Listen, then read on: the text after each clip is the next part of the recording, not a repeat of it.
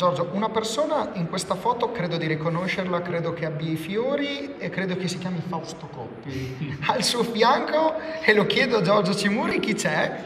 Il papà Giannetto, sorridente, eh, felicissimo, era il giro d'onore della vittoria di Fausto nel Giro di Francia del 52 e questa è un'emozione sempre per tutti noi perché papà allora fece 11 giri di Francia e 40 giri d'Italia, quindi una vita con le sue mani a massaggiare i grandi campioni.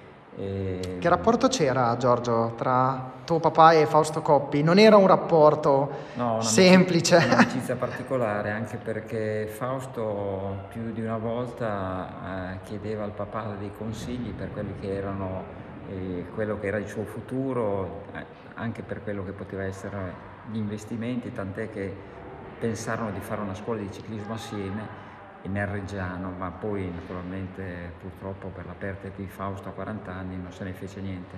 Però ecco, non era solo un rapporto di, del masser con il corridore, era un rapporto tra due persone che si volevano bene.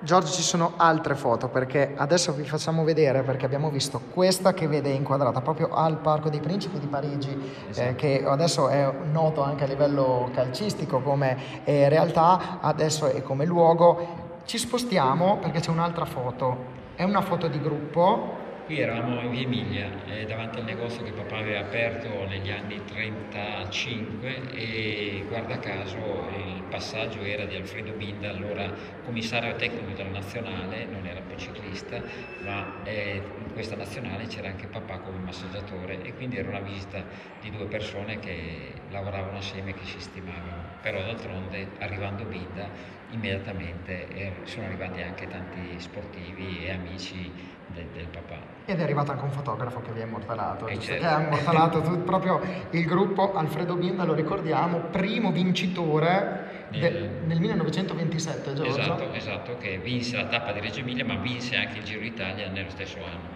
Adesso passiamo dalle foto all'ammiraglia Giorgio perché questa è veramente una questa foto è fantastica è un ciclismo d'altri tempi sì questa è l'ammiraglia dell'Atala il papà è sempre stato massaggiatore dell'Atala della famiglia Rizzato e qui lo, lo vediamo eh, come sempre col suo sorriso e col braccio alzato per salutare probabilmente qualche amico e queste sono ammiraglie incredibili ecco, perché le vediamo come sono scoperte e con queste ammiraglie facevano decine e migliaia di chilometri per seguire il ciclismo di allora.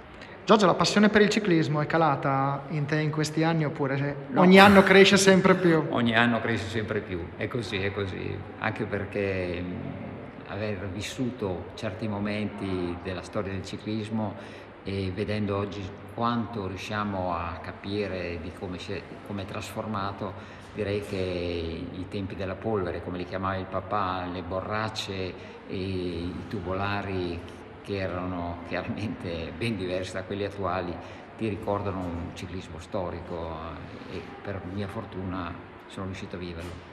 Giorgio, appuntamento a 18 maggio? 18 maggio, ore 17 su Via Lisonzo per l'arrivo del volatone.